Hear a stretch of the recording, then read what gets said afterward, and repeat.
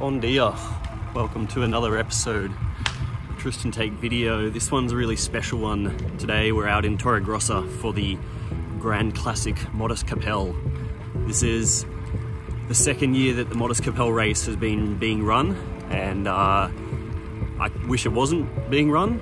But the last two years we've done this race in celebration of the rider of Modest Capell, who was a young Catalan rider who was killed in a training accident a couple of years ago in 2019. And uh, this race today and last year has been put on in Modest's memory. Modest was a young guy who I raced against a number of times, and from everything I understand of him, he was just an incredible human being and, uh, and a great cyclist. So while I really wish that this race wasn't happening today, uh, it is, and we're out here in celebration of modest life. We're gonna race this race in the way he would have loved to have raced it. Last year I had a really good race. I got in a number of breakaways and I ended up getting up onto the podium, which was really nice for the last race of the year. So I've just signed on, I'm just rolling the last kilometer of the course and then I'm gonna go and get changed and get ready.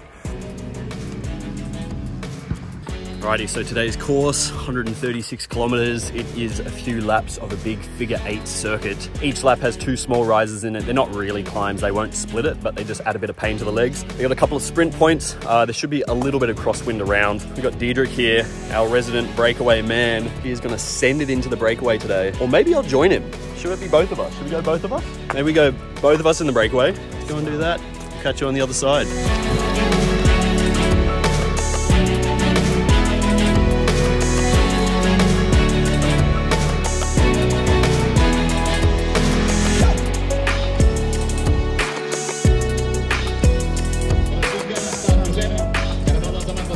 How are you feeling? It's a pretty emotional day, hey? sad and happy. How do you feel? Two things like this at the same time. Yeah, man, it's a pretty special day. Go Close and enough. send it in memory of Modest. Yeah. Let's do that. All let's right. do that. El record del Modest és importantíssim,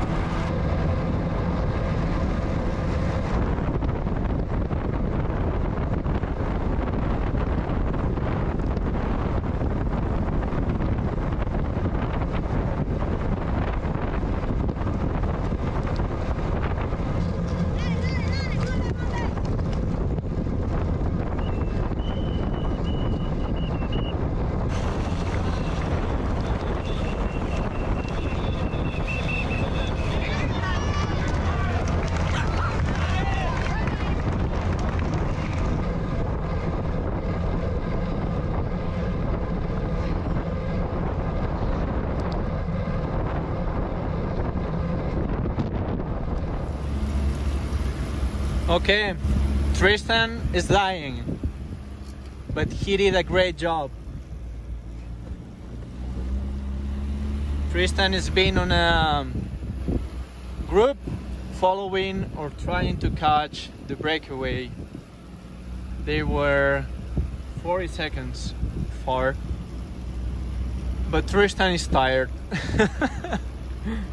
but he tried, and that's always the important thing. We are only around 15 kilometers from the end of the race, and Tristan is tired. And he's got some cramps, yeah.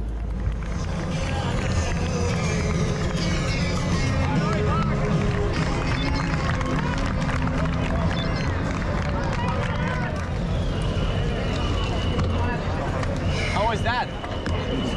You died? I died.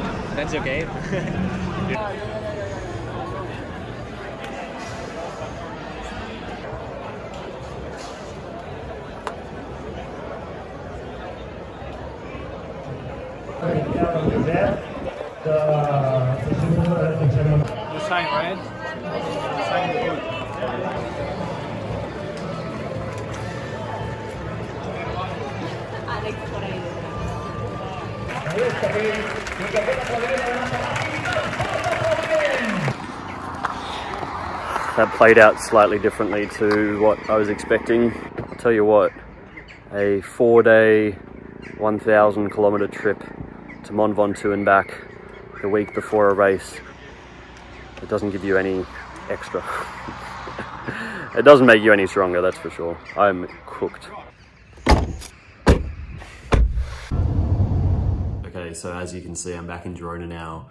Had some food, had a shower, and uh, now I'm just going to sit down and do a little recap of what happened in the race there. A bit of a different result and a different feeling in the race to what I'd expected or hoped for. And so we rolled out, and as always, there was the initial few attacks. I kind of moved my way to the front, and uh, and then people started attacking, and so we went up and over the first rise, down the other side took a left-hand turn, took another left-hand turn. There was a sprint point at the 11 kilometer mark, which I had actually flagged for myself because last year I won that first sprint and then I went on to position quite highly at the end, which means I got the overall sprint competition. So this year I was thinking, oh, maybe I can do the same kind of thing. So I ended up going off the front for that first sprint at 11 Ks in. I didn't actually sprint for it. I just popped off the front of this little group that was up the front.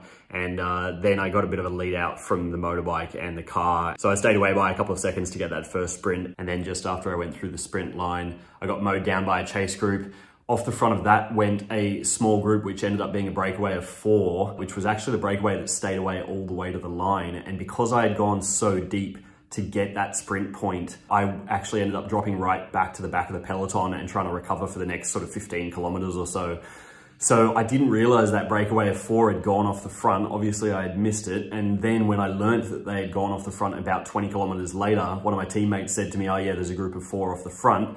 I was like, oh, we need to have someone in it because we can't have a group of four off the front that have got some strong guys in it not have someone in. So then I started a bit of another move to get a group going to go across to that group of four. So in that move, there was about nine guys. And honestly, it was a little bit frustrating. There were some guys rolling, there were some guys not rolling. There was just not the cohesion that you want out of a chase group like that. We all should have been committing to get across to the breakaway and then people would start playing games but there was no cohesion, so some guys were rolling and some weren't. So by the time that we went off the front to try and get across to that main uh, breakaway, they had a gap of about two minutes. So we made it to within about 40 seconds, as Fernando said there, but we just didn't quite make it all the way across. We could see them up the road, but there were some super, super strong guys and uh, super respect to those guys. Four of them, there was two from the same team, and uh, these are guys that are just mega strong, a couple of big Dutch guys. So yeah, kudos to, to those guys. But uh, for, that meant for our group, there was eight of us. And then eventually towards the end, they just started attacking each other, which I couldn't understand. I was like, we haven't even made the front of the race and you guys are going to attack each other now. And then eventually another chase group came across from behind because my group was just attacking itself. So that group of 15 then caught and then they started attacking. And by this stage, because we were so far in and I just haven't done the training, I just ended up not uh, being able to hang on. And so eventually we came through town one last time and we were on to the final uh, half of the circuit and a few guys attacked and I just couldn't go with the move at all and I started cramping and the peloton eventually caught me and then I ended up just getting dropped from the peloton because I was so cooked. And I also thought, you know what, I'm the kind of guy that I like to race for first. I don't want to race for 15th. So I was just looking to basically finish the race and uh, get through the finish line there. So yeah, I kind of just sat up, cruised my way in. As always at these races, there's an amazing amount of support and in particular for this race because it's such a special race. So we had all of Modest's family and friends and the entire community from Torregrossa and a lot of the community from Barcelona and a lot of the cycling community. In the racing scene here was there, which was really nice to have and really nice to see and uh, it was really nice to roll across the line and just kind of soak it up. It was a pretty emotional day for a lot of people. It's still a very, very fresh event and a very fresh uh, memory. So yeah, really nice to have the support of everyone there and to be able to support in return. Once again, thank you so much to Modest family for putting this on and for the entire Catalunya Cycling Federation for supporting this event. Yeah, I hope to be back next year for the third running of the Modest Capell Memorial Race. So that race being the last race of the season, that is my 2021 season done. I'm pretty cooked, I'm pretty tired, I'm ready for some time off the bike now. I'm gonna put my legs up and I'm gonna make some vlogs and I will see you guys all in the next episode of Tristan Take Video very, very soon. Have a great week. Adeu.